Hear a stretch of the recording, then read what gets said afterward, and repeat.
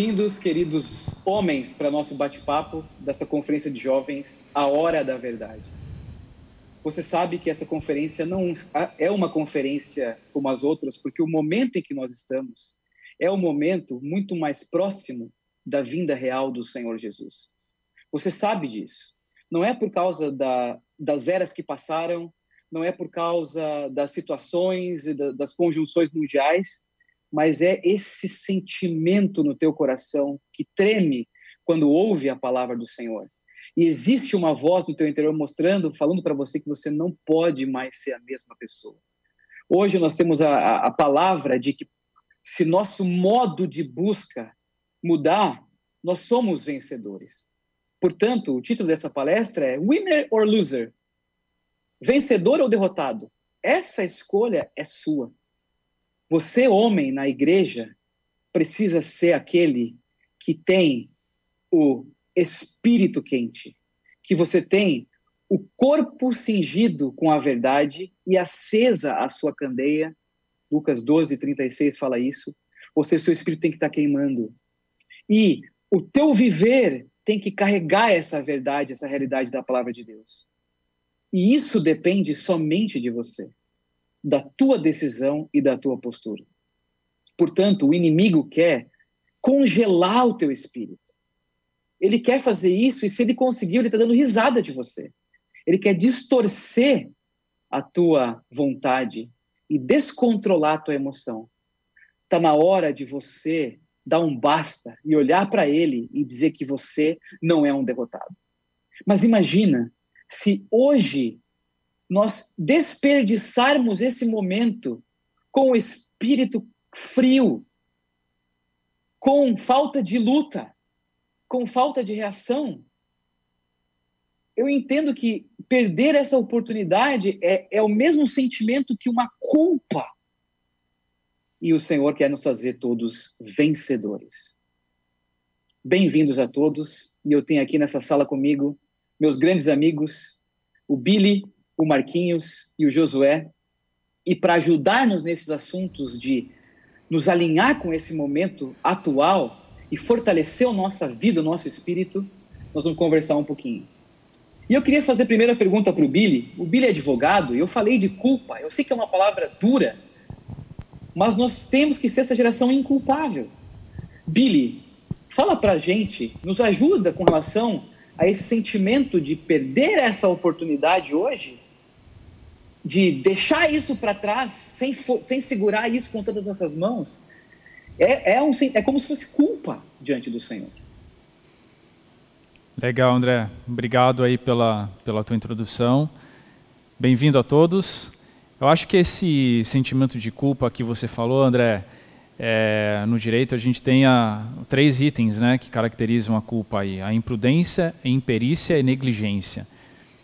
Claro, não vou entrar em muito em detalhe aqui é, em relação a cada um desses itens, mas aplicando a nossa prática, a nossa vida, né, a, a palavra que a gente tem ouvido, é, essencialmente é você se omitir, é você ser preguiçoso, é você não agir conforme esperado, e isso gera um problema. Né? Isso gera uma situação, é, a sua culpa, né? que obviamente tem uma consequência. Né? Então, diante do Senhor, isso tem uma consequência séria. Né? E aí a gente pergunta para você que está nos ouvindo aqui, jovem, homem, na sua vida, o que, que você sente em relação a, neste momento, às vésperas aí, vamos falar assim, da volta do Senhor, com essa palavra que a gente está ouvindo, você tem o sentimento de culpa? Será que, será que eu estou sendo fiel? Será que eu estou agindo? Vamos para o contrário, né? É, o oposto, o antônimo aqui, é, outro sentido, né? Inculpável. Será que eu estou agindo de forma inculpável? Será que eu estou aproveitando as oportunidades que o Senhor tem me dado? E, ou às vezes né, eu não estou nem falando só de ser ativo, mas às vezes é omissivo, é uma omissão, você não faz, você deixa de fazer numa situação de conforto, a zona de conforto na sua vida pessoal. Vocês estão ouvindo as mensagens, né? A nossa ideia é ter um, trocar uma, um bate-papo, ser um bate-papo com vocês, então é, é, algo mais prático mesmo, né? É, eu, eu posso dizer o seguinte, para facilitar, vamos pensar em três grandes áreas da nossa vida, né? da vida de um homem da igreja na vida da igreja. Então eu tenho uma área que é o serviço ao Senhor, né, ali uh, na igreja, vamos dizer assim. Uh, claro, todas estão ligadas, não dá para dissociar uma da outra, mas outra área, a questão da família, né, e a outra, o trabalho, a vida social. E a gente até fala que isso compõe a vida da igreja. Né? A vida da igreja não é só de reunião, né? mas tem todos esses aspectos. Mas você, jovem, é, como está em relação.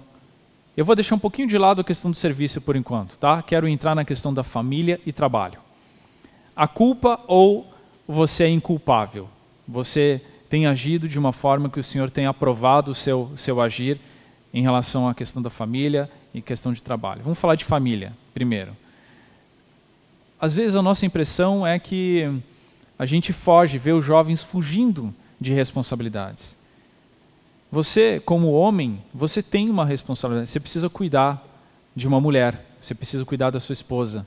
Para aqueles que não são casados, não fique negligenciando esse tema na sua vida. Às vezes você ah, não estou descansando, estou em pasto tranquilo.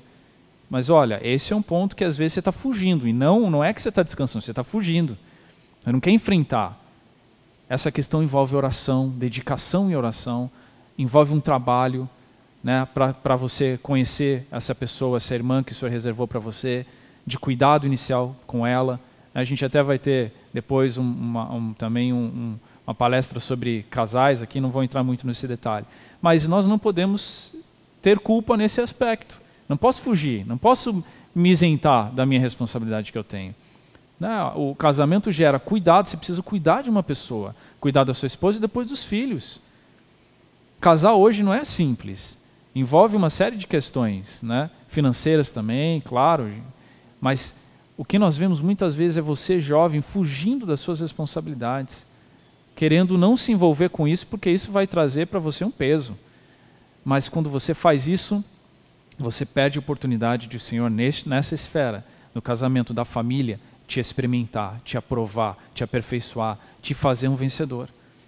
A mesma questão do trabalho, né, a profissão. Claro, nós sabemos que tem jovens que têm um chamamento especial para servir o Senhor, né? eu não estou desprezando isso também. Mas aqueles que trabalham, que são a maioria, né, que tem uma profissão, às vezes a gente tem uma situação que você quer o tempo inteiro fugir, não, não é isso, eu quero aquilo, eu quero buscar a minha. André, você me ajuda aí, né? Você já ouviu alguma vez falando aí, eu quero buscar o que me satisfaça, quero trabalhar com aquilo que me dá alegria, eu quero me encontrar. da minha felicidade, quero, é, quero, ser feliz no trabalho, né? Quero ser feliz. É... E assim. Não é que não possa, né, Billy? Não é que não possa. Claro. Mas é, é assim, você falou de cuidar de alguém, mas ele precisa cuidar dele mesmo, do seu espírito queimando. É, é difícil olhar uh, ficar encostado, você não acha, Billy? Essa, essa geração precisa brigar mais, levantar é os braços para ter um espírito quente todos os dias. É isso, exatamente. Tirar o congelamento, por exemplo, dos streamings e usar a Bíblia, a palavra, e fazer diferença no, no trabalho, na família dele. Né? Então, e é assim que ele vai ser verdadeiramente feliz, porque é dentro o seu espírito está pegando fogo. Amém. E quando você foge dessas questões, né, voltando ao trabalho, é, você, você não quer enfrentar um desaforo de chefe. Você tem colegas é. que você não sabe se relacionar. Você foge dessas questões, você evita essas questões. Né? Você não para em nenhum trabalho, você acha que você tem que ir em busca da sua felicidade. Mas você perde a oportunidade de ali experimentar o Senhor, queimar pelo Senhor, arder pelo Senhor, uhum. de pagar uhum. o preço de sentir uhum. o Senhor trabalhando, agindo, fazendo milagres, abrindo as portas, ou sentir que não é o momento que você precisa do silêncio do Senhor, precisa lidar com uhum. o silêncio do Senhor, mas ali é, é, é ser desafiado. É isso que falta, é isso. não fugir das responsabilidades para ser desafiado. Né? E aí, terminando a minha parte aqui nesse aspecto, se a gente não tem, não é desafiado, não é experimentado, consequentemente, isso tem efeito em relação ao serviço do Senhor também, né? André, também outro ponto, né, que você você vai lembrar e a gente vai a gente vai olhar agora, vai estudar na conferência internacional sobre as epístolas é, escritas a Timóteo. E ele Paulo fala para Timóteo que, que, se alguém aspira ao episcopado, excelente obra almeja, uhum. não é? E aí ali você tem a descrição do, do bispo e do diácono, e você vê que uhum. são pessoas provadas, experimentadas. Em ambos os casos fala de família, cuidar da sua casa, é, pessoas que têm um exemplo. Jovem, você, se você está na vida da igreja, você aspira ao episcopado, aspira a ser ali um presbítero, um diácono, não estou falando posição, estou falando vida, Amém. cuidado, realidade. Amém. Você aspira ou você quer ser um irmão que talvez não faça muita diferença? Sabe, nós temos que arder pelo Senhor e falar: Senhor, eu quero crescer em vida, eu quero cuidar de pessoas, Isso. eu quero amadurecer, eu não vou ficar acomodado. Né? Então, é, acho que é um pouco essa atitude que precisa. Aí, o último versículo que eu quero ler aqui, é um pouco ainda nesse sentimento, né? É, é Eclesiastes 10, 16. Eu tava, estava lendo hoje, inclusive, na, na leitura. Acho que cabe bem aqui. Ele fala assim: ó, ai de ti, ó terra, cujo rei é criança. Hum. É, é, é, duro falar isso, mas as nossas atitudes às vezes mostram que nós somos infantis, crianças, seja em relação a casamento, a família, a trabalho, ao, ao serviço ao Senhor. É, e ai de ti, igreja, não sei qual é a sua igreja, né, onde, se, onde você se reúne, se você é criança, precisa amadurecer, precisa ter postura. A gente falou na última palestra que vocês vão lembrar também aqui, a nossa conversa, lembra aquilo que não pode ir para a guerra menor de 18 anos, né, serviço sacerdotal, tal, é mais ou menos o seguinte, é o, é o, é mesmo exemplo, e cujos príncipes se banqueteiam já de manhã, ou seja, não estão interessados, não estão preocupados com as coisas do Senhor, não estão preocupados com responsabilidade, com a volta, ou seja, são culpáveis, têm culpa. E aí, obviamente, isso terá uma consequência, né? Bom, queridos, a gente está seguindo esse tom porque a gente ama vocês. Amém. Faz várias, dez palestras que a gente já deu aqui, várias coisas foram do sentido humano, mas nós estamos sentindo que você precisa ser desafiado. Você precisa ficar com ódio, ódio de Satanás, ódio da tua condição, ódio de ficar parado, de ouvir e ficar igualzinho. Você tem que pegar esse momento da tua vida e aproveitar que você pode mudar o teu status. Amém. Esquentar a tua vida, entende? E essa e, e para isso nós sabemos que a gente precisa de uma mudança de postura. Para mim, eu acho que a gente não pode deixar Satanás criar, deixar, uh, uh, trazer o mistério da iniquidade aqui e ficar só olhando. Eu acho que a gente tem que, ó, desculpa que eu estou parado em casa, eu estou contido numa mesa, mas não pode ser assim, não pode ser deixar ele fazer as coisas. A gente precisa, como homens, botar o limite para esse iníquo, até que tenha o um momento do Senhor nos levar como seus vencedores. Amém. Amém. Uh, então, Marquinhos, né? O Marquinhos uh, também gostaria de saber como que você enxerga hoje essa, essa necessidade de ajuste de postura dessa geração masculina dos nossos homens da igreja. Amém. Amém. Sim. É, é interessante que a postura tem muito a ver com aquilo que nós estamos vivendo, né? E também com aquilo que nós estamos procurando, né? Estou com o meu celular aqui na minha mão. Se ele cair da minha mão, eu não vou ficar ó, com a postura olhando para cima. Não faz sentido. Ele foi para o chão, eu vou olhar para uhum. baixo. E é muito interessante que quando o Senhor falou que todas essas coisas iriam acontecer, né, André? O Senhor ele uhum. deu uma uhum. ordem. Ele deu uma ordem. Ele deu uma ordem de uma postura que a gente tinha que ter naquele momento, né? E uma ordem de postura, primeiramente, é exultar. Né? Uhum. Uma exultação tem que começar a surgir no nosso coração. E além disso, ele fala que a gente tem que erguer a cabeça. Essa terra faz o que com a gente? Olha para baixo o tempo todo. Você tem que o né. tempo todo olhar para o teu trabalho, o tempo todo olhar para a tua casa, olhar para as coisas, a pressão na faculdade. E aí você fica só olhando para baixo, só olhando para baixo, só olhando para baixo. Nós vimos né, que a arca tinha uma janela para cima. Quer dizer, se é, o tempo final é o tempo de Noé, o olhar tem que ser para cima. Não é que nós não vamos fazer as coisas que nós fazemos, mas nós fazemos olhando para cima. E é muito interessante então que a nossa postura depende da nossa busca, depende da nossa uhum. expectativa. E olha só que a palavra de Deus fala, né? E aqui, aqui é a primeira coisa de mudança de postura, André, que tem que ter. A palavra de Deus não é questionável. A postura que fez o homem cair na condição que, que caiu é que ele aceitou uma pergunta sobre a palavra de Deus. E o que Deus fala, Ele fala e vai acontecer, porque Ele é Deus, Ele é o soberano dos reis da terra. Então a nossa postura de homens vencedores, né, que não aceitam a derrota, é que se Deus falou, está falado e vai acontecer. E isso não só de maneira objetiva, não só com respeito à volta dele para o mundo, mas de maneira subjetiva para a nossa vida. Então a palavra de Deus ela nos traz a, a nossa postura.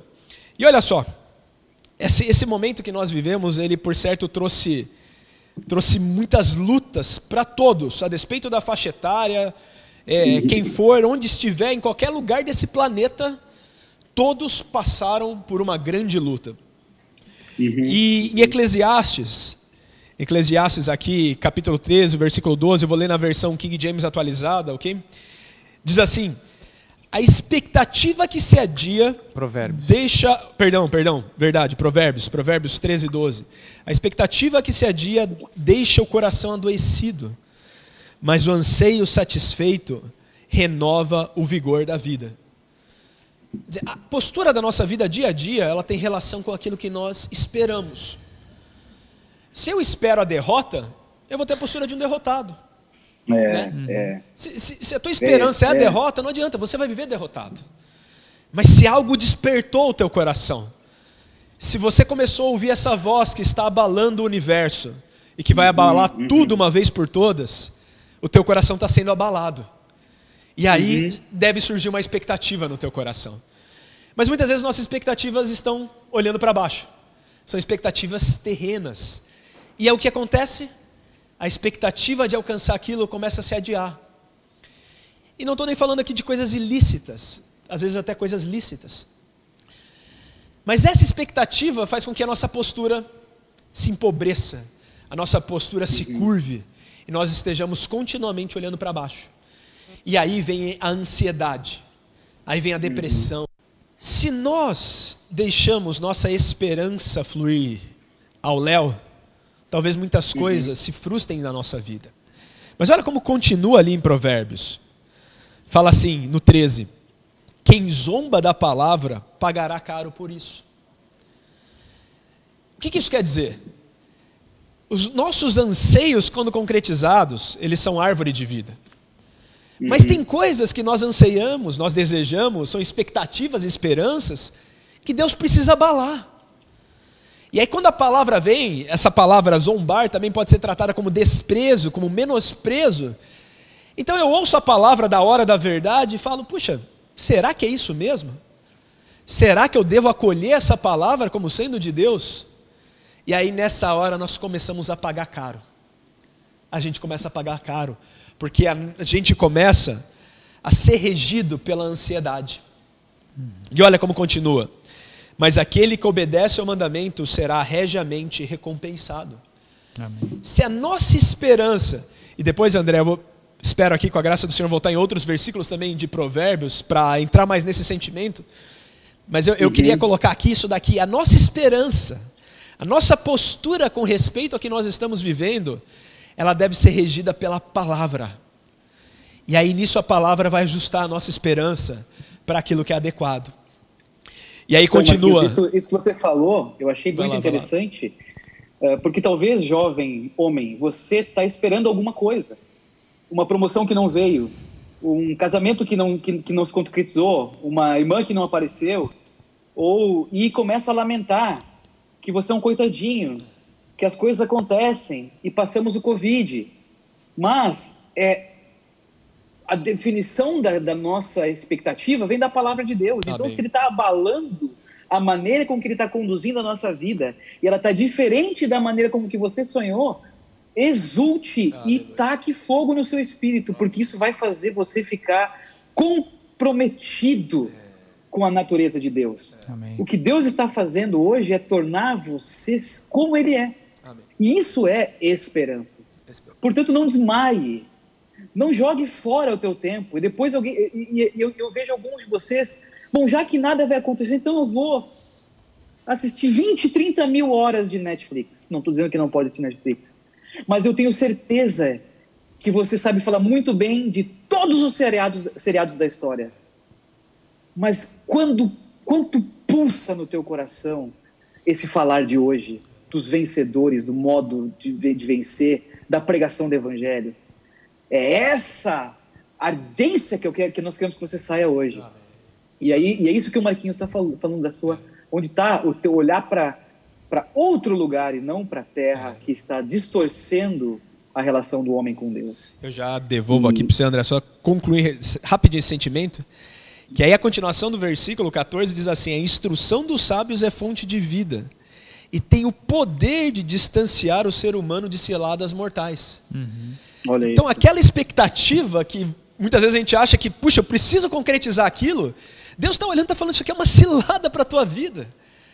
Então, a palavra de Deus, não duvide dela. Ela Amém. é com certeza aquilo que vai nos levar adiante. Amém. Então, para mim, queridos irmãos e queridos jovens que nos ouvem, jovens vencedores, a principal postura nossa nesse momento, da hora da verdade, é que a palavra de Deus é a verdade. Amém. E ela Amém. pode sim nos direcionar até lá. Não importa a sua condição. Né? A palavra pode reaquecer o teu coração e te dar uma esperança. E essa esperança vai se concretizar. Amém. Ótimo. Jovens queridos, isso sim é a hora da verdade. Amém. Por um lado, o tempo está correndo. Mas, por outro lado, a verdade de Deus precisa ser constituída nos homens da igreja. Amém. E eu sei, Josh, queria fazer, conversar com você um pouquinho, é, como que os nossos irmãos que eventualmente tiveram um momento de desânimo agora desse, dessa, uh, da pandemia, da, do isolamento social, como que eles podem se encher de coragem de, de voltar a recuperar essa temperatura de um milhão de graus no seu espírito? É, André. Muitos de nós passamos por vários problemas, várias tribulações. Alguns desanimaram por não conseguirem praticar a palavra, outros desanimaram por terem sofrido muitas e muitas tribulações. Então, aqui, para a gente conseguir voltar a colocar fogo no nosso espírito, foi uma coisa que o Marquinhos falou aqui, nós precisamos ter esperança. E as palavras que o Senhor tem nos dado nesses tempos finais são palavras que nos enchem de esperança. Temos a fé, temos o amor, mas principalmente nós também temos a esperança. Né? Então uhum. eu gostaria aqui de falar especialmente para você, jovem, para você, homem, não meninos, né? homens que vocês precisam ter esperança. Na tribulação, aqueles que estão desistindo por achar que o mundo está muito difícil, tem alguns versículos que eu gostaria de ler aqui, né? Primeiro, Lamentações 3, 21. É um segredo que nós precisamos todos é, praticar no nosso dia a dia. Quero trazer à memória o que pode me dar esperança. Uhum. E o que nos dá esperança, irmãos? É que o Senhor ele não vai cobrar o nosso estágio. E essa foi uma das palavras que me deu muita esperança, irmãos. Porque uhum. Ele está hoje olhando o nosso estado. Amém. O que isso Amém. quer dizer?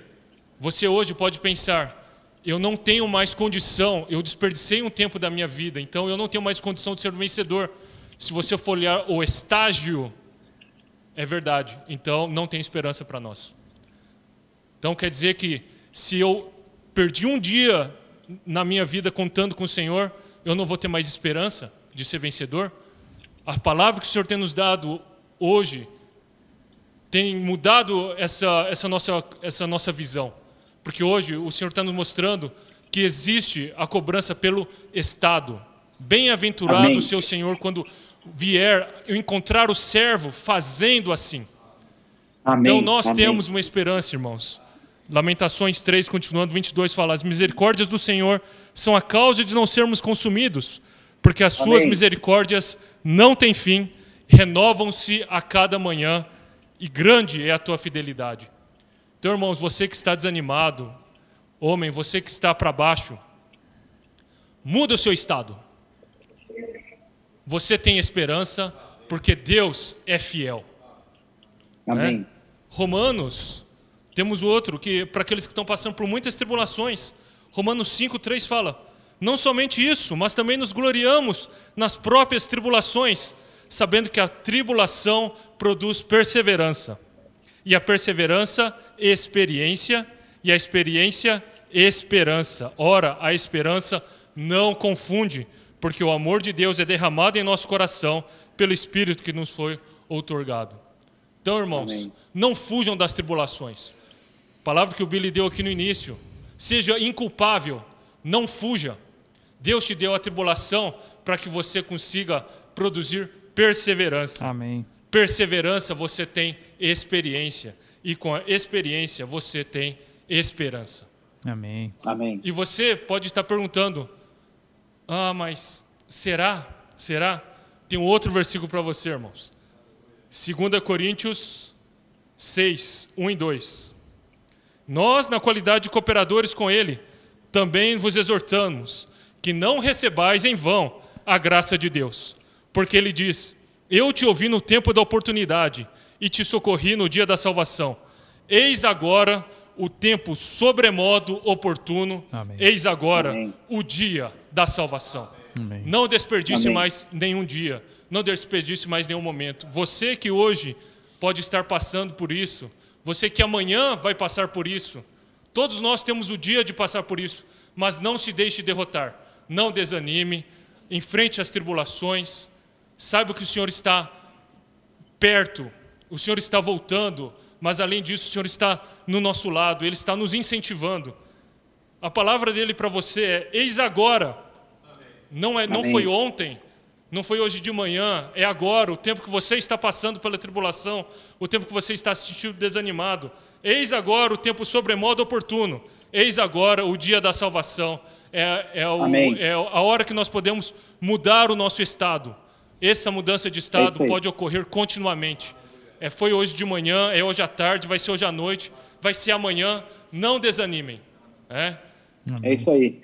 Josh, é, quando eu ouvi essa palavra do estado, eu sou uma criança da vida da igreja, não nasci na vida da igreja, mas vim de vários anos. Você, praticamente, seu bercinho, né, tinha quase na estância, né? É. Uh, e nós, Marquinhos, né, berço cristão, Billy também, mas por muitos anos eu não tinha confiança de que seria vencedor, embora que pudesse ser um vencedor, embora lutasse com todas as minhas forças, porque eu sabia e eu conheço as minhas limitações, porque eu ainda caio, eu ainda falho, mas essa mudança do estado foi uma chave para minha vida. Agora sim, tudo tem sentido. E está no alcance da nossa mão. A palavra está perto de nós, na nossa boca, no nosso coração. O, o, o modo atual de buscar o Senhor é uma virada imediata. Por um lado, tivemos um marco quando o irmão Pedro falou essa palavra pela primeira vez. E os que reagiram, ótimo. Mas os que ainda estão esperando alguma coisa acontecer, o teu momento, como diz o, o Josh, é agora. Eis o tempo sobremodo oportuno. É nesse momento, é nesse segundo que você pode entrar e não sair mais no modo de aceleração, de poder ser aquele que espera pelo Senhor. E o que se exige de você não é a perfeição idealizada, mas é um espírito de busca que aguarda para abrir a porta do seu Senhor. Isso é demais. Já pensou quando a gente escutar os passos chegando, a batida na porta, nós vamos abrir a porta para o nosso Senhor. Winner or loser, meu caro, decida agora, mas não decida para ser um derrotado. Seja um vencedor. Amém. Billy, mas mesmo assim a vida humana, ela é uma vida difícil e as tentações estão aí. E eu sei que muitos irmãos, quando caem em pecado, tendem a fugir, desanimar totalmente. E eu sei que alguns tiveram essas experiências nos contatos com, as, com a internet, com as redes sociais, com, a, com, com tudo que eles permitiram entrar na sua vida nesses anos. O que, que você diz para esses irmãos que estão sentindo essa necessidade de se arrepender? É, eu, eu, assim, eu acho que esse momento foi um, a gente não ignora, né? O momento pelo qual você passou, jovem, né? É, eu acho que está gerando muita insegurança. Talvez você sinta, se sinta mais com medo, mais inseguro. O que o Marquinhos falou é muito importante, a questão dos sonhos. Puxa, meus, meus sonhos. Né, eu no começo falei aqui para você de casamento. Será que eu vou casar? Né, não sei, tantas dúvidas, dúvidas em relação à palavra. É, e claro, um aspecto vamos dizer assim, de, de, impureza, de pecado, porque você mais em casa, né? O acesso que você tem à internet, às redes sociais, a, a, a, seriados, né? Que embora ali não sejam totalmente aberto, explícito, mas também tem muita muita imoralidade, muita impureza. Talvez você tenha tido muito contato com isso. Isso entra no coração. Isso te traz um sentimento de culpa. Tem um, um versículo é, interessante em Deuteronômio, vou achar para vocês aqui. Evidente que Deus não está preocupado com o objeto em si, Ele está preocupado com a pessoa. Em Deuteronômio 17, versículo 16, ele fala o seguinte. Não, acho que não é esse não. 17, 16. Deixa eu ver se é 7 e 16. Senão eu acho aqui. Deixa eu procurar aqui. Que ele fala. Ah, é, desculpa, 19. 19, Deuteronômio 19, versículo 15. Não é Deuteronômio, pessoal, é número. Números. Números 19. 15, é. Quem sabe faz ao vivo. Tá Quem sabe na, faz ao vivo, né? Nas então... marcações. Vamos lá, vamos ver se agora eu acertei. Ó, até vou beber um gole de água, Billy. Achei, Coisas achei. raras agora achei. Agora achei. Olha só que interessante esse versículo. Eu já tinha lido algumas vezes e passou meio em branco, mas ele fala assim, ó: "Também todo vaso aberto, sobre que não houver tampa amarrada, será imundo." Deus não está preocupado com, com o objeto em si, está preocupado com o homem. Então, às vezes você uhum. aqui estava com o vaso aberto. Entrou todo tipo de coisa, todo tipo de imundice nesse período em que você passou aí isolado. Né? Você tem que colocar uma tampa. Você tem que fechar, chega. É um basta. O que o André falou é muito importante. A decisão de mudar de estado. O André e o Josh compartilharam sobre isso. Precisa mudar de estado. E você tem a chance hoje, sim, de se arrepender, de buscar pelo sangue do Senhor, o perdão do Senhor. Ele nunca vai te rejeitar, nunca vai, mesmo que você tenha falhado diversas vezes, se você se voltar de coração ao Senhor, pedir pelo sangue dele, ele vai te perdoar. Ele vai tirar esse sentimento de culpa, de condenação. Aí você vai mudar de estado.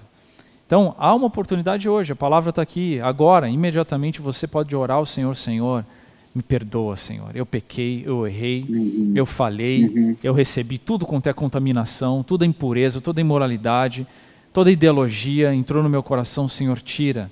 Eu me arrependo, né, no pó e na cinza, como orava Davi né, no Antigo Testamento. Eu me arrependo. Essa atitude é uma atitude de vencedor. Essa atitude é uma atitude de alguém que realmente quer pagar um preço, quer mudança, quer vencer na vida. Então há tempo para você uhum. fazer isso.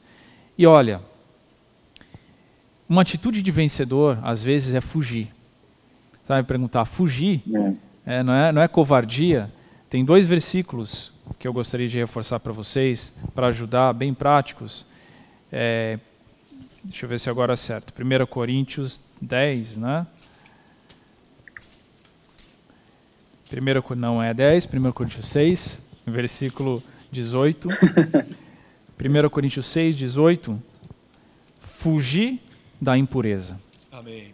Você, a partir de hoje, se você mudou seu estado, seu estado de busca, mas olha, a tentação virá, você ainda está em casa, ainda está no isolamento, foge da impureza. Amém. Você precisa fugir. Não tem jeito. Você não consegue não enfrentar. Então, as coisas que são impureza na sua vida, você tem que fugir, você tem que cortar. Lembra, tampa, põe a tampa, acabou não entra mais nada. E o outro, que é similar a esse, está em Timóteo, é, 2 Timóteo, né?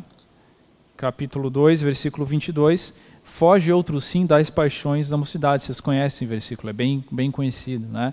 Então você precisa fugir. Quais são as paixões da mocidade dessa geração que nós vivemos hoje? O André falou, é, o, o, os, os, streamings, né, o Netflix oh, e, Prime Video, né, da, da, Amazon, tantas, tantas coisas que são ofensivas ali dentro, que você precisa filtrar. É você precisa filtrar, de novo, fechar a tampa para essas coisas. colocar a tampa né, nessas coisas. E, por outro lado, uma postura ativa. Segue a justiça, a fé, o amor, uhum. a paz com os que de coração puro invocam o nome do Senhor. Então acho que aí fica, uma, fica essa dica. Se você caiu, se você pecou, se você errou, né, a, a, a, nossa mente está sendo muito atacada também né, nesse, nesses momentos. Né, a gente sabe disso, a questão da saúde mental é, é falado muito agora. Mas, novamente, muda o estado. Se volta ao uhum. Senhor, se volta ao Espírito, ama essa palavra, você pega a palavra profética que nós temos ouvido, né? deixa essas coisas de lado, foge do que é indevido, busca de todo o coração essas questões. E por fim, André, acho que vale reforçar aqui Lucas 12, né? Nós temos ouvido muito uhum, também uhum. Lucas 12. Muito bom, muito bom. Uma postura é, de alguém que quer, quer ser vencedor. Né? Em Lucas uhum. 12, primeiro uhum. tem a questão das ansiedades, né? lançar diante do sim, Senhor as sim. ansiedades que o Marquinhos falou. E logo em seguida, quando você lança diante do Senhor as ansiedades, busca o reino, é, em primeiro lugar também, como fala Mateus, a mesma coisa, o versículo 35 começa: cingido o vosso corpo. Você está cingido, você está atento, você está esperto, você não aceita qualquer coisa, você tem discernimento e acesas as vossas candeias. 36, muito bom esse versículo, né, André? Eu sei que você gosta também. Muito. Sede muito. vós semelhantes a homens que esperam pelo Aleluia. seu Senhor. Então você Amém. tem ali uma expectativa, a esperança que o Josh falou, que o Marquinhos também, a expectativa, a esperança, eu estou esperando o Senhor. Eu não vou me meter com qualquer coisa, não vou me contaminar porque eu estou esperando o meu Senhor. Eu não vou é me isso, distrair. O que mais que ele fala? No 37 fala de homens vigilantes. Uhum. No 40 fala apercebidos. Isso, no 42 isso. fala fiéis e prudentes. Vamos uhum, gravar essas uhum. palavras. Espera pelo Senhor, vigiante, vigilante, apercebido, fiel e prudente. Por quê? No 47 tem a explicação. Por que eu preciso estar assim? Aquele servo, porém, que conheceu a vontade de seu Senhor e não Puxa se vida. aprontou, não se preparou, eu comecei falando de ser experimentado na família, no trabalho, eu acabei esquecendo de falar nos estudos, obviamente nos estudos, no serviço ao Senhor, você se apronta, você se prepara cada dia. Mas aquele que não se aprontou, conhecendo a vontade do Senhor, você conhece a vontade do Senhor. Qual é a consequência? Que nós não queremos para nenhum jovem. Nós estamos desesperados aqui, e às vezes até falando é, palavra um pouco é. mais dura, porque a gente não quer isso para nenhum de vocês não, que estão nada. ouvindo. Nós não vamos aceitar nem fez segundo a sua vontade, será punido oh, com Senhor muitos Jesus. açoites. Então, queridos jovens, que a nosso nosso estado hoje mude. Nós podemos e queremos muito, desejamos de todo o nosso coração e tudo que foi preparado para vocês agora nessa conferência Hora da Verdade é para isso, para que você seja um vencedor, para você não seja esse aqui derrotado, um perdedor que vai sofrer os açoites. Vocês aceitam esse desafio? Amém? Amém. Aleluia. E nós não esperamos isso no futuro, né, Billy? Nós não. queremos que agora você mude. É isso. Então, ao ouvir as, os hinos, os louvores, a conferência, as mensagens, é. apesar de você já ter passado por alguns itens, que você libere o seu espírito ah, sem impedimento, que você odeie ficar parado. Sim. Entende? não sei como posso falar, eu não consigo colocar mais palavra. Que você não aceite sentar naquele sofá e, só, e, e, ficar imaginando outras coisas enquanto essa palavra passa na tua é, frente, mas é, que ela é, é. entre, redefina a sua vida, redefina a tua, tuas prioridades. Oh, Bom, Marquinhos, a gente falou um pouco né, da, da questão da esperança e dos sonhos. Sim. Uh, e você sabe que às vezes o ser humano fica cego por querer tantas coisas, mesmo que ouça a palavra, ouça a palavra, ouça a palavra, e, mas meu sonho é mais importante. Então, assim, como ainda é possível ajudar os nossos homens a é. perceber quem eles realmente são nesse sentido. Aleluia, sim, sim. É, aquele versículo lá de Provérbios, né? É a nossa, o nosso anseio que nós cremos que será cumprido e vai ser uma fonte de vida enorme no nosso coração é que cada um que está ouvindo seja um vencedor. Amém. E essa é a nossa expectativa e a expectativa de todo mundo que está participando da preparação, da coordenação dessa conferência de jovens. Cada parte, querido jovem, é numa certeza de que a palavra de Deus pode mudar a tua vida. Né? Uhum. E o versículo, o versículo de Hebreus, ele diz né, que aquele, aquele Sim. né, Hebreus 12, 26, aquele cuja voz abalou. A voz de Deus muitas vezes é um cicil, né? Muitas vezes ela é uma voz tranquila, cheia de amor. Mas muitas vezes ela chega para abalar com a nossa vida. Porque ela tem um propósito. Deus precisa nos desarraigar deste mundo perverso. Amém. Deus sabe que o que está acontecendo nesse mundo é um mundo perverso. Né? O Senhor fala que nós somos o sal da terra. Né? O, o, o, sal, quando ele está num processo de manter a carne sadia, para ela não se corromper, não se degradar, ele está ali fazendo a função dele. Mas aquela carne, mesmo com sal, se ela ficar muito tempo ali, ela vai se corromper. Uhum. O mundo jaz no maligno. Não, não tem uma outra direção para esse mundo. Esse mundo jaz no maligno. E esse mundo vai se corromper. E, e Pedro fala que esse mundo está entesourado para o julgamento. Porque ele foi condenado a isso. E o nosso amado Senhor Jesus, ele precisa nos abalar para que quando ele vier tomar aqueles frutos maduros, esses frutos não estejam no meio desse mundo que está destinado à perdição. E é isso que o Senhor está fazendo. E é muito interessante quando a gente vê Lucas 14, lá naquela porção de quando o Senhor começa a convidar para a ceia, aqueles homens não ficaram arraigados por coisas ilícitas. É. Aqueles ficaram arraigados é. por coisas lícitas né? Fala ali de casei-me, tenho uma junta de bois, comprei um terreno. Então, querido jovem, o Senhor precisa abalar. O Amém. Senhor precisa nos abalar com a sua voz, tanto para tirar as coisas negativas que o Billy trouxe agora, mas também para que as coisas lícitas, mas que são deste mundo, não nos prendam naquele dia. Amém. É, é. Então, o que, que acontece nesse processo de abalar? Acontece nesse processo de abalar o que está em Provérbios 16, que diz assim, eu também vou ler aqui na versão King James atualizada, 16.1 diz assim, ao ser humano foi concedida a capacidade de planejar. Deus nos deu a capacidade de planejar, e o homem muitas vezes tem isso muito desenvolvido nele. Só que na hora que a gente começa, que nós começamos a planejar, nós achamos que porque nós sabemos planejar, as coisas têm que acontecer do jeito que nós planejamos. E aí entra a voz de Deus. E o versículo continua: Entretanto, é o Senhor que dá a palavra certa. Amém. Aí a voz de Deus abala. Uhum. A voz de Deus abalar significa que eu não vou ter aquilo que eu planejei? Não sei, querido jovem. Não uhum. sei. E eu já volto nisso, mas o versículo continua assim: Todos os caminhos do homem parecem certos aos seus olhos. Quando você planeja, você não planeja para se mutilar, para se para se agredir. Você se planeja porque você acha que aquilo é o melhor para você. Mas o Senhor julga as verdadeiras motivações do coração. O versículo continua. Então, como lidar, André, com sonhos frustrados? O princípio é que os nossos sonhos devem ser consagrados. Uhum. O versículo 3 diz assim: Consagra ao Senhor todas as tuas obras, e os teus planos serão bem-sucedidos. E sabe por quê? Nós olhamos para o plano que nós fizemos e aquilo se torna o maior alvo da nossa vida. Agora, olha uma coisa: o versículo 4 começa assim: O Senhor criou tudo o que existe com um propósito definido. Antes do hum. teu plano e do meu plano, tem o plano de Deus. Amém. E quando nós Amém. fazemos o plano da nossa vida, muitas vezes nós não perguntamos para Deus, Senhor, qual que é o propósito definido da nossa vida, que é muitas vezes muito maior do que você imagina e do que eu imagino para a minha vida.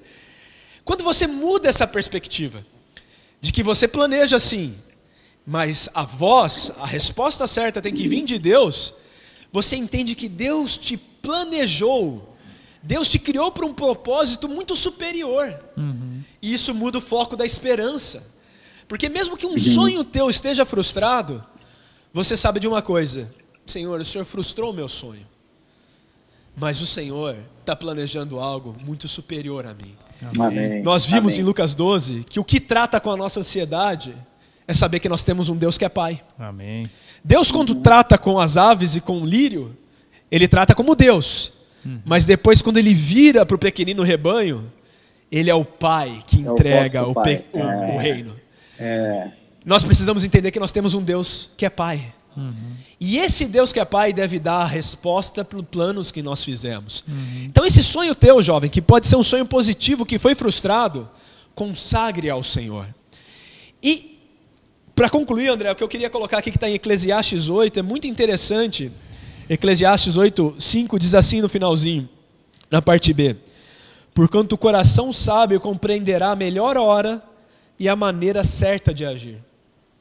Amém. Nós, quando estabelecemos um plano, nós muitas vezes perguntamos para o Senhor se aquilo deve ou não deve acontecer. E algumas vezes o Senhor fala, sim, isso deve acontecer na sua vida. Qual que é a ação de quem planeja? Ah, então isso vai acontecer agora. Aí é Deus que também tem que falar. O que, quando e como tem que vir da boca de Deus. E o coração sábio busca isso. Então, como lidar com o sonho da sua vida? O sonho da sua vida deve ter uma resposta de Deus para três aspectos. O que? Esse sonho deve ou não deve se concretizar na minha vida, Senhor? Depois de saber se ele deve, se este é o sonho, você deve perguntar, Senhor, e qual é a melhor hora? E depois disso você deve perguntar, Senhor, qual é a maneira certa para que essa hora aconteça? E aqui tira a gente de uma postura passiva. Porque muitas vezes nós perguntamos, Senhor, isso deve acontecer na minha vida? O Senhor fala, sim, deve. Você fica sentado esperando. Uhum. O Senhor te fez para ser um vencedor. O Senhor não te é fez para ser um derrotado. É uhum. Sim, o Senhor me fez para ser um vencedor. Senhor, eu vou ser um vencedor. E agora? Você espera para ser um vencedor? Não. Agora é hora de perguntar, Senhor, como eu vou ser um vencedor? E qual é a maneira certa, Senhor, para eu ser um vencedor? E aí o Senhor vai te dar ações para a sua vida para que você é tenha o domínio da sua vida. Amém. Isso mesmo. Satanás te intimida, querido jovem. Porque quando ele te intimida, ele passa a governar a tua vida. E aí você vira, vira, vira aquele João bobo, né? Um tapa de um lado para o outro. Mas quando você fala, Senhor, eu vou planejar a minha vida, e a resposta das minhas ações vai vir da sua boca, você recupera o domínio sobre a sua vida. E aí os é teus sonhos, você trata com as coisas negativas, você põe uma tampa, acaba, fecha a tua vida para aquilo. E aí os teus sonhos, os teus planos, eles passam a ser encabeçados, conectados, porque você sabe que Deus te criou para um propósito definido que é sim ser um vencedor. Amém. Isso Amém. não interessa se aquilo que você planejou vai acontecer ou não. O que interessa é que você vai ter a certeza que Deus vai te levar para a vitória. Então consagre é a sua aí. vida ao Senhor. Não seja passivo. Não seja passivo. Tenha domínio sobre a sua vida. Tanto negando, colocando as coisas negativas, tratando com seriedade com elas, quanto nas coisas positivas, buscando a resposta do Senhor. O que, como e quando? Qual a sua maneira, Senhor, para essas coisas? Né? Amém. Amém. Ótimo. Marquinhos, acho que é bem interessante porque uh, o Senhor sempre fala: buscai em primeiro lugar o reino. Amém. E as outras coisas serão acrescentadas. Isso Amém. quer dizer que a gente não deve assumir uma postura, e não é uma postura de vencedor, ó, então vou parar de trabalhar, vou parar de me esforçar, vou parar de estudar, já que eu não, não, né, não, não vai acontecer, e vou só viver uma vida, entre aspas, é, é, eremita. Não, na verdade, a gente precisa continuar buscando, mas o coração desacoplado, o coração é, desconectado do mundo, porque a gente é muito perigoso se a gente não tem esse, essa conexão perigoso para Satanás. Mas, e também vai ter momentos, e você sabe muito bem disso, porque você tem uma experiência interessante, que às vezes oramos, o Senhor nos indicou o que fazer, está chegando lá, e, a, e, na última hora o Senhor muda de direção. Uhum. Por quê? Porque, porque o coração do homem muda de direção. E ele precisa nos levar a andar pelo vale da sombra da morte, seguindo o nosso pastor que tem uma vara e um cajado, para que a gente aprenda como realmente são as coisas de Deus. Ele tem direito de mudar de ideia? Claro que sim, mas a, a porção do vencedor é a porção da promessa do vencedor. Então isso vai nos fazer ser aqueles que, quando o Senhor voltar, nos dá as promessas, acesso à árvore da vida, o nome dele, uh, governar com ele, governar sobre as cidades, porque o nosso coração, como o Marquinhos falou, você assume o controle da tua vida, ou seja, você não deixa as tuas emoções te, te, te distanciarem do controle, te, te desesperar e te desmaiar. Isso é uma postura de um vencedor. E é isso que nós queremos. Winner or loser, hein? O que me faz lembrar que eu tenho mais uma pergunta para o Josh. Nós estamos caminhando para a parte final de nossa nosso bate-papo. E eu acho que eu vou fazer essa pergunta para todos. Josh, como você enxerga o winner, o vencedor hoje? Bom, André, é, o vencedor hoje ele é um catadão de tudo que a gente falou aqui, né? É, mas principalmente é você tomar as rédeas da tua vida. É, não seja uma pessoa com pensamento derrotado. Não deixe que o inimigo entre na sua cabeça e ache e te rebaixe. Né? O que o Marquinho falou aqui é, é de extrema importância. Temos que tomar as rédeas da nossa vida e entregá-las para Deus, mas nunca deixá-las na mão do inimigo. Né? Outro ponto é que você precisa esquecer das coisas que para trás ficam e avance todo dia para as coisas que diante de você está e corra de tal maneira. Não correu ontem, ontem passou. Tem hoje, corre de tal maneira hoje. É? E um terceiro ponto que é o, eu acho que é o que mais pega para nós, né, Billy, Marquinho, André, é o que a gente pensa. Não adianta nada a gente correr, correr, correr, correr e de repente a gente pensar igual aqui em Lucas 12.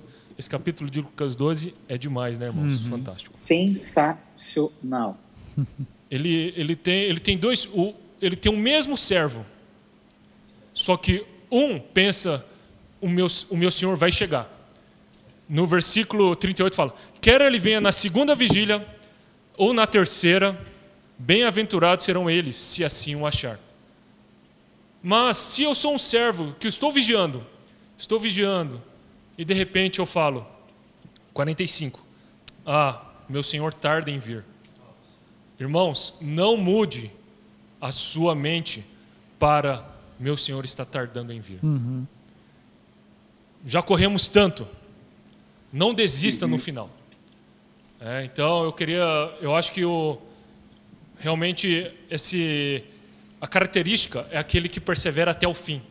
Mateus 24 fala, né? Aquele, porém, que perseverar até o fim, esse será salvo. Então, jovem, não desista. Não, não, não mude a, a sua atitude para o lado contrário, de eu estou, eu estou fazendo, estou perseguindo o Senhor, estou seguindo, estou esperando a volta do Senhor, estou vigilante. Vem a pandemia, começa a desanimar e você pensa: ah, tudo aquilo foi em vão, meu Senhor tarda em vir não mude sua, o seu estado para pior. É, transforme o seu estado para cima, irmãos. Amém. É. Amém. O vencedor Amém. é aquele que esqueceu e prossegue uhum. e não desiste. Amém. É. Amém. Billy? Billy, para você, o que, que é um vencedor, um winner? Se o Wesley estivesse aqui, ele ia falar winner. Olha, André, eu acho que assim, a gente deu várias dicas aqui para você que foi, foi nos, nos acompanhando aqui, várias características né, é, do que nós temos que evitar ou não fazer, ou, ou perseguir, buscar né, diante do Senhor ser ativo. Mas assim, eu acho que a nossa, nosso desejo aqui é, de certa forma, incomodar vocês. Acho que vocês perceberam isso. É desafiá-los. Né? Vocês precisam se sentir desafiados. A nossa vida como homens, ela precisa ser assim. Tem que ter um fogo, entendeu? Você tem que ficar um pouco incomodado com a situação. Tudo hoje é, é, é a zona de conforto. Você, o, o sistema, o universo fala para você, olha, né, o inimigo, o universo criado pelo inimigo de Deus fala para você que você tem direito a tudo. Você tem direito a criticar, você tem direito a descansar, você tem direito a não fazer nada, você tem direito a ficar o tempo inteiro no sofá se você quiser, você tem direitos trabalhista, você tem, enfim, o tempo inteiro, né? Você tem, você é o centro de tudo.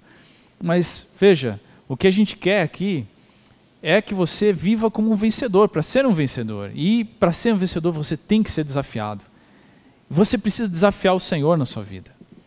Busca diante do Senhor, em todos os aspectos que nós falamos aqui. Senhor, o que, que eu posso fazer para que meu estado seja diferente?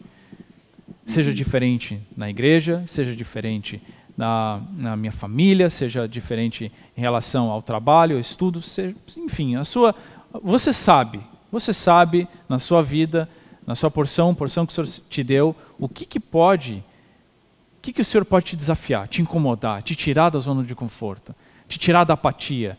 Marquinhos falou algo muito interessante, né? Ali você está da passividade, na passivo, você está ali passivo, você está, ah, um dia vem, Deus prometeu, um dia vai chegar. Não, o que, que você pode fazer para sair dessa situação? Porque aí, quando você sair, você vai come começar a experimentar o Senhor de uma forma totalmente diferente. Teu espírito queimando, ardendo, buscando, orando, amando a palavra. É essa postura que vai te fazer um vencedor. E é dia a dia. Não adianta você pensar, não, mas é uma grande coisa, não, o Senhor nos mostrou. É dia a dia, são atitudes diárias, cotidianas. Ali, pouco a pouco, você vai é, é, montando, é, costurando a sua veste, né, se preparando para que quando o Senhor voltar, você seja isento de culpa. Você é possa permanecer diante dele de pé, né, diante do Senhor, você possa ser arrebatado como ali parte das primícias, aqueles que durante a sua vida pagaram preço para chegar naquele dia e ser um vencedor. É isso que a gente espera. Amém. Marquinhos. Amém. É... Você sabe, André, eu estava. Começo do ano passado, na verdade, no meio do ano passado, eu estava. Eu estava perguntando, eu falei, Senhor, o que está que, que tá acontecendo? Né? O que, que é isso? Né? E aí o Senhor estava começou ali a falar comigo, né? A multiplicação da iniquidade, né? E é muito interessante a precisão da palavra, né? Assim, se você está fazendo algo que é uma soma, né? Ela vai crescendo de uma maneira mais ela cresce, mas não cresce tão rápido, né? Uma multiplicação é um negócio que vai crescendo que você perde controle, né? Uhum. Só que uhum. essa multiplicação da iniquidade, ela tem um alvo, ela tem, ela tem um objetivo que ela persegue continuamente, que é esfriar o amor. É, é. Então assim, é, é, ela não age de maneira aleatória. Esse, uhum. né, esse, esse, uhum. essa, essa, essa névoa da iniquidade, ela faz algo. E a primeira coisa que ela faz é esfriar o amor em relação a Deus.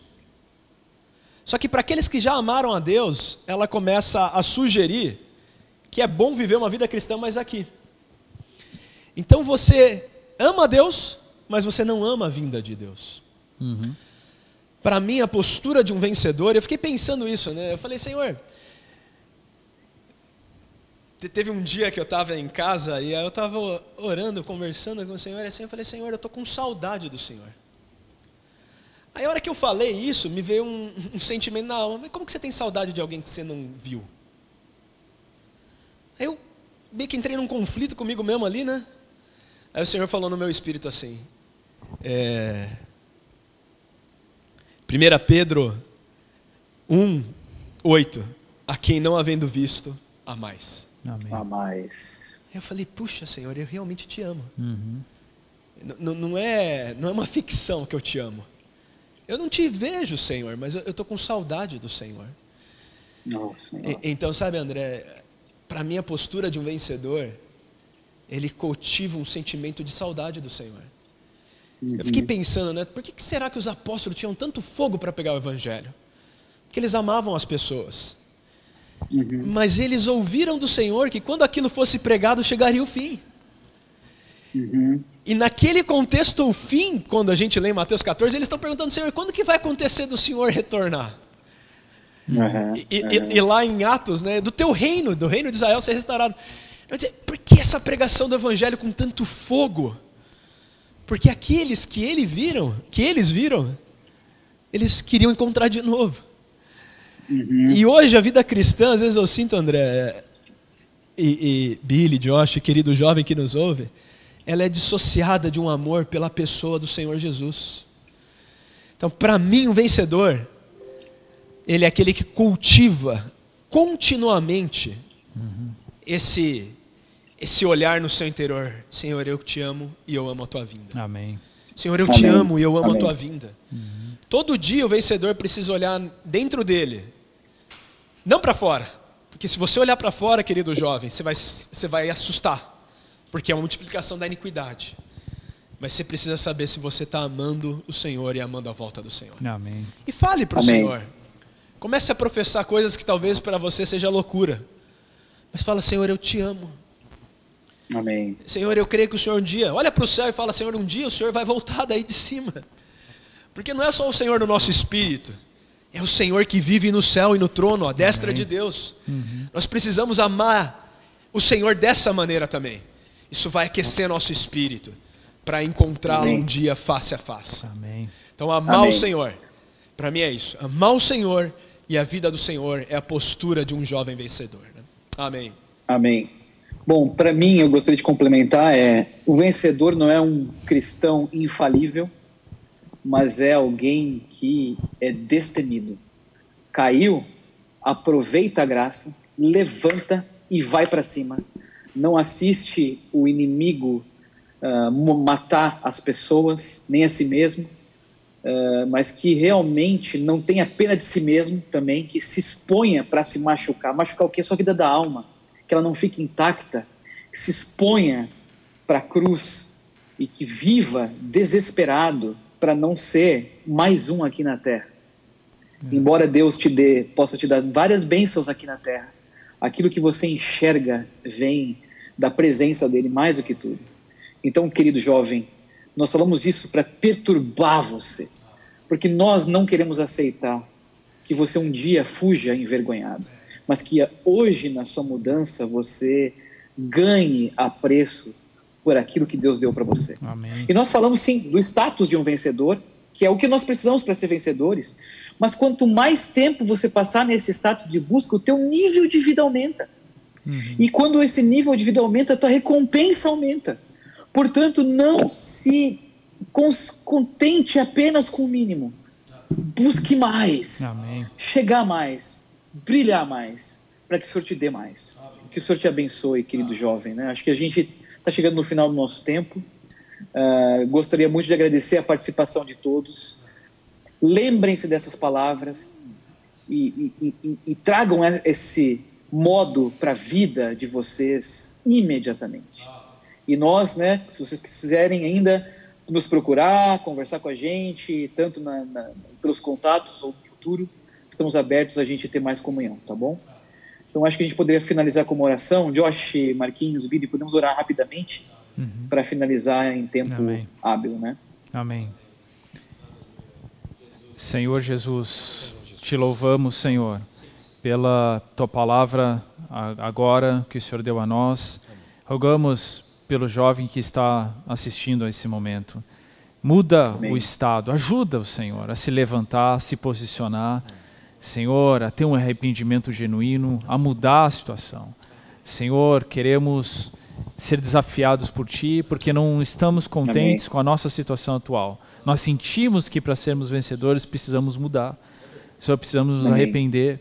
Queremos também crescer em vida para atingir um outro estado, um outro estágio de maturidade. Senhor, colocamos isso diante de Ti. Abençoa-nos, Senhor, no restante da palavra dessa conferência, Amém. que o Senhor possa continuar falando no nosso coração. Amém. Oh, Senhor Jesus. Amém. Senhor, obrigado por essa tarde, Amém. por essa palavra. Amém. queridos. Senhor. É, obrigado por, por esses momentos. Amém. Que essas palavras realmente ardam no seu coração. Amém. Perturbem vocês, tirem o sono.